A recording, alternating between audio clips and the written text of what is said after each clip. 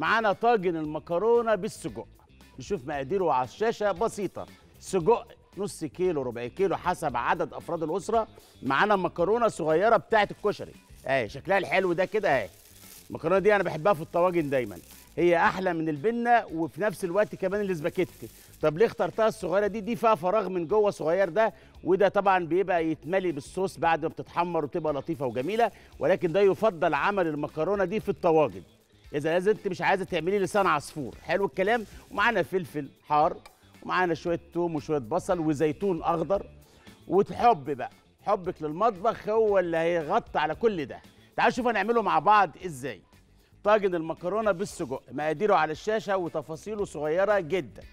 أول حاجة معلقتين من زيت الزيتون ومعلقة سمنة. حلوة. آه. وبعدين تخش المطبخ وانت كده عايزة تتعلمي حاجة حلوة. وفي نفس الوقت كمان مهم جدا إنك أنت تكوني بتحب المطبخ. بتحب المطبخ كل حاجة هتطلع بعون الله معاكي زي الفل. معلقة السمنة دي هنا كده. زي الفل. ونحط بصل ناعم. وبعدين انت ما تبصيش إن كل حاجة معايا جاهزة ومتحضرة وطبيعي إنك أنت ممكن تعملي الكلام ده في المطبخ عندك برضو يعني عادي. عندك وقت بالليل تقشري بصلتين ثلاثة قشر البصل من آه أعلمك إزاي البصل ده ما يطلعش ريحة حتى لو حطيتيه في التلاجة. تاخدي البصل ده بتحطيه في شوية مية ساقعة. حلو الكلام مع شوية ملح. وتحطهم في التلاجة. يقعد معاكي يومين ثلاثة ما يطلعش أي ريحة. أهم حاجة إنك تحطيه في مية. حلو معانا التوم أهوت. أصبح هنا في توم وبصل. عينيا هتوجعني من ريحة التوم والبصل. وكل يوم توم وبصل كل يوم المطبخ توم وبصل مع الشيف المغازي. لا تفكري ولا تحتاري. هخليكي تختاري. معانا شوية البهارات الحلوين. معانا شوية روزماري.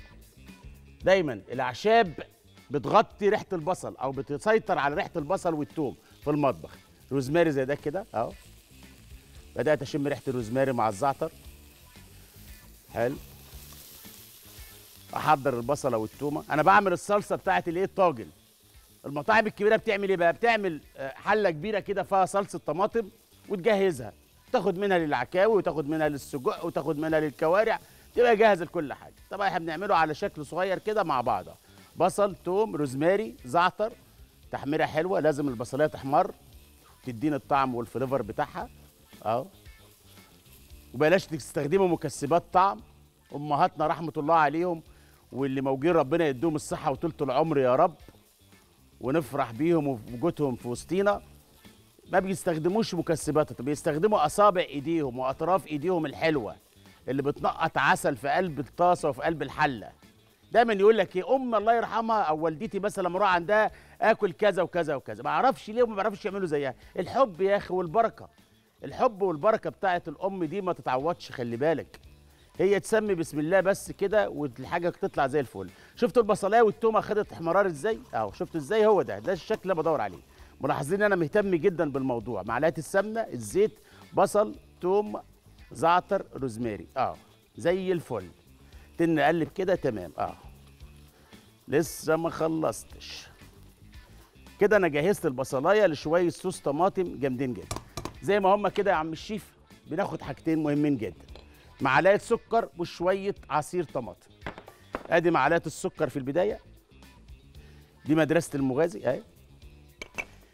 ليه السكر؟ عشان جوزك ياكل من الصلصة دي وما يحصلش عنده حرقان على القولون الجهاز الهضمي ارتجاع مريء. آه السكر بيعالج الحموضة اللي موجودة في الطماطم للناس اللي عندها مشاكل مع القولون. آه أصبحت البصلاية كده زي الفل. اتكرملت زودناها سكر وحلاوة أكتر ما هي مسكرة. ننزل بالطماطم. لا عجبني قوي شكل البصل عجبني قوي هي كده بتتخانق مع السمنة والتومة والزعتر والروزماري. آه. يا ويلي يا ويلي يا ويلي يا ويلي يا ويلي. هو ده هو ده هو ده. شكرا. الله. آه. خلصت الحكاية يا عم الشيف عايزة تعملي طاجن العكاوي؟ عندك الأساس بتاعه. عايزة تعملي طاجن كوارع؟ عندك الأساس بتاعه. عايزه تعملي صينية مكرونة بالفراخ عندك الأساس بتاعه اللي هي الصلصة اللي أنا عملتها دي دلوقتي. هسيبها زي ما هي كده يا عم الشيف واغطيها وأسيبها تتسبك. تسبيكة. حلو الكلام؟ حلو الكلام. بعد التسبيكة دي هنشوف هنعمل إيه. آه، ونغطي كل حاجة كده وأهم حاجة مطبخك يكون مترتب وكل حاجة ترجع مكانها. نغطي الحلة بتاعتنا ونسيبها على النار. نرجع للمكرونة الحلوة دي أهي. في طريقتين لعمل طاجن المكرونة. الطريقة الأولى اللي أنا بحبها إن المكرونة دي تتحمر زي لسان العصفور. في طريقة سريعة للتحمير. عندك حلة تخليها للبطاطس المقلية تحمرها في قلبها مفيش أي مشكلة. تجيبي معلقتين سمنة وتبدأي تحمري المكرونة دي زي ما بتحمري الشعرية مفيش مشكلة. هنحطها في زيت غزير دلوقتي ونحمرها مفيش مشكلة. ولكن تحطها نية ما طاجن بقى. هي كده لو حطيتها نية هتتكسر منك وما بقتش طاجن مكرونة. خلي بالك. السر هنا في احمرار المكرونة. عندنا زيت هنا درجة حرارته عالية. ونحط ال- المكرونة هنا. ونحمرها معقولة يا شيف؟ زيها زي البطاطس؟ آه. اصبر على رزقك يا غالي. آه. ما دي مش هتطلع صوت خلي بالك. أنت مش بتحمر زلابيا يقول لي ما طلعتش صوت ليه يا مغازي؟ دي غير الزلابيا وغير بلح الشام. شفت؟ هي طلعت الصوت اللي انت عايزه. آه آه, آه. ده الجديد. اما أنا اعمل بقى افتكاسة. إيه الافتكاسة وايه التركاية اللي اتعودنا عليها من الشيف المغازي. بتحمري في زيت بطاطس. بتحمري في زيت كنت محمرة فيه قبل كده كفتة وليكن وعايزة تشيل الريحة بقى وتفصلي الموضوع ده بشياكة. آه شفت الخبرة الطهوية لما بتلعب دورها؟ بص بص على الحلاوة بص على الشقاوه آه في قلب الزيت. خلص الكلام. آه. الموضوع راح في حتة تانية خالص. آه الزيت خد طعم الروزماري. ما عندكيش روزماري حط زعتر. آه. ما عندكيش لا زعتر ولا روزماري. هقول لك تعملي إيه؟ خليكي معايا خطوة خطوة وأنا مش هخليكي تفكري ولا تحتاري. آه. إيه يا عم الشيف؟ ورقتين نعناع أخضر. يا بتاع النعناع يا منعنع. آه. تقوم ريحة الزيت هنا تبقى متحضره وجا أهو. زي الفل. في قلب الزيت. آه.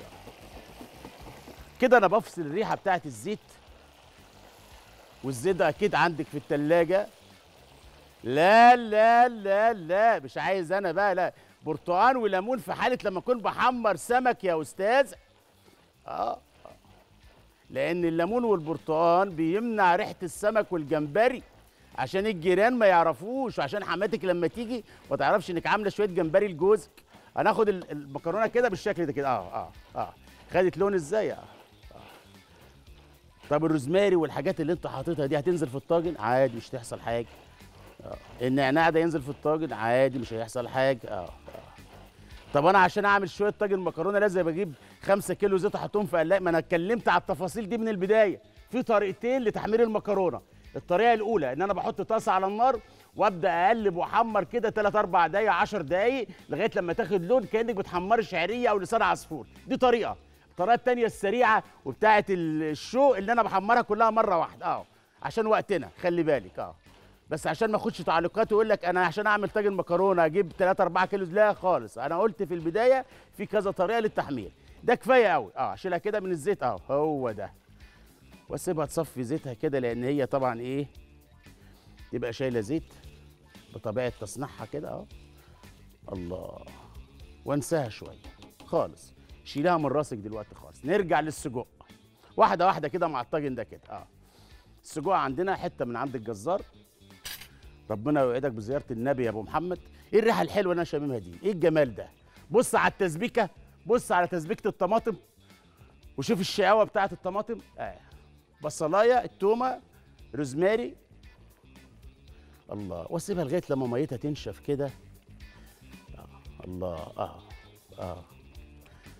حلوة. الله على الريحة الحلوة. عايزاها سبايسي حط فلفل حار. دي بتاعتك انت بقى. آه. السبايسي ده اختياري. ده فلفل حار. الطواجن دايما بتبقى فيها طعم السبايسي بيبقى فيها طعم الشقاوة. أهو. أنواع من الفلفل عندنا. أهو. أهم حاجة نشيل البذر منه خلي بالك. الحاجات الصغيرة دي ما تخليهاش تعديكي. سكينة. الحاجات الصغيرة دي بقى شفتها سكينة صغيرة هترفعها هو ده آه. من غير ما تعوري إيدك خالص آه. ده مهم جدا على فكرة. من مصروف البيت هتطلعي كده جنيهات وتجيبي الحاجات الصغيرة السكاكين الصغيرة دي تقطعي بيها فواكه تعملي بيها جرنش للأطباق بتاعتك وده الطبيعي. تنضفي بيها سمك تنضفي بيها جمبري وسكينة صغيرة حلوة كده شيك تخليها دايما عندك. شيليها في مكان في الدرج بتاع المعالق بعيد لأنها ممكن وهي صغيرة كده بتجيبي حاجة من الدرج تعور إيدك. الحاجات اللي بقولها لك دي بتحصل في أي مكان فعشان كده بحذرك منها. السكاكين الصغيرة بالذات خليها في كوباية كده بعيد عن متناول الإيد علشان دي ممكن تعمل لنا مشاكل وإحنا في غنى عن المشاكل. بتجيبيها مستعجلة ابنك عايز معلقة من الدرج عايز شوكة تيجي تدخلت إيدك في وسط المعالق والشوك تلاقيها عورت إيدك على طول. هننزل بالفلفل ده كده. الله. الله. آه. حلو. نجي على السجق بتاعنا الحلو ده كده. ده الموضوع. ده اللي يهم المخرج اهو. عايز يشوف الهبر تعمل مكرونة تعمل فراخ. أنا مش عايز غير الهبر الله. الله الله الله. آه. دايما لما بيجي نستخدم السجق بتلاقيه فرط مننا وبقى قلب على لحمة مفرومة. أنا عايز شخصية السجق ده تبان مع المكرونة. الاتنين كده يبقى لهم شخصية. اعمل إيه؟ وانت معايا واحدة واحدة كده. آه. صوص الطماطم اهم حاجة بيغلي على النار. الله. آه. عينيا حاضر. آه.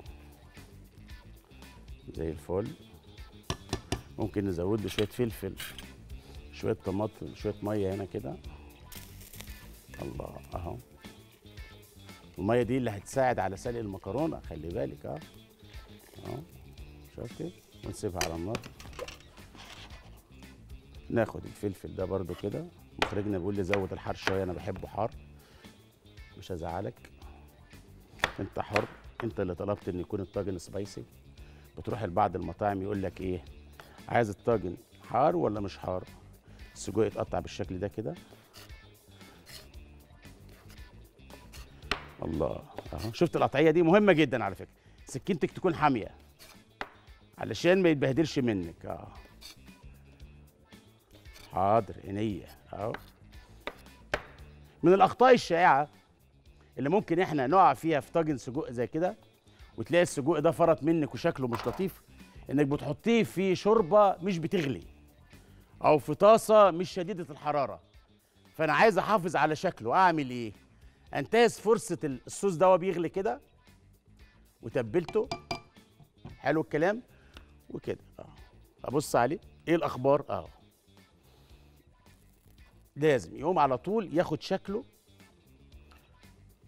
ويشد معانا على طول. آه. وتغطيه على طول مباشرة. آه. حاضر. عيني. حاضر. المفروض هنتكلم على المفروض وبعدين إيه؟ إحنا مع بعض. المفروض ده ما يتقلبش خالص. والمفروض بمجرد ما أحط السجق اغطيه عشان اعمل عملية احتباس للبخار اللي طالع ودرجة الحرارة والغليان مع السجق يقوم ياخد شكله. يقوم لما يغلي مع المكرونة تلاقي حبات السجق بشخصيتها والمكرونة بشخصيتها. تفاصيل صغيرة ولكن المعنى كبير والطعم جديد. يعني تقدري بتفاصيل صغيرة بمقادير في متناول الجميع تعملي طاجن مكرونة بالسجق. يعني محدش بيعمله غيرك في العيلة. هتقولي لي ليه بقى والموضوع ده؟ عشان بتتابع الشيف المغازي على القناة الأولى من الآخر أهو. بص على السجق وبص على الحلاوة بالله عليك. شوف الخبرة الطهوية هنا. يا باشا يتكسر مين بس؟ أنت لو أنت اللي هتخش المطبخ تعمله أكيد هيقلب على لحمة مفرومة. أهو. لازم يكون الشوربة أو الصوص بيغلي. أه أه. زي ما بتعملي كده الممبار عايزة تسلقيه ومحشي رز ومحشي خضار واللي أنت عارفاه ده كله؟ أه. ينفع إن أنا أسلقه في شوربة باردة؟ لا. لازم الشوربة تكون بتغلي. وانزل بيه في المية أو الشوربة اللي بتغلي دي كده أو البصلاية والتومة في قلب المية واجهز له البوكيه جارنيه وبعد ما يتسلق أطلعه وأحمره. ده بالممبار خلي بالك أنا بتكلم عن الممبار. اللي أنا مش بحبه. آه. شايف السجق؟ اللهم صل على النبي. زي الفل. المكرونة أخبارها إيه؟ نبص عليها. إيه بص على المكرونة اللي إحنا حمرناها. اللهم صل على النبي.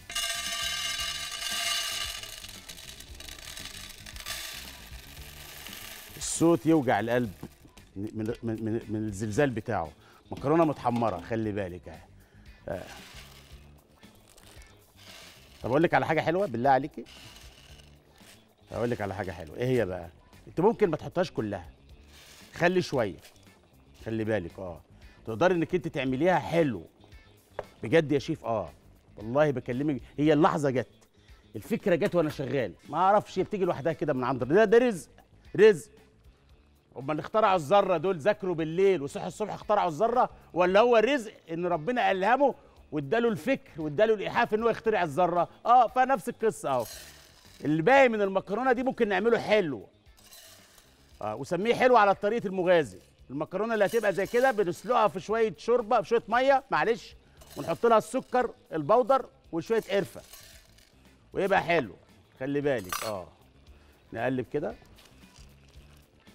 الله عليك يا شيف. الله تاكل صوابعك وراها. وسيبيها على النار تستوي. نعم.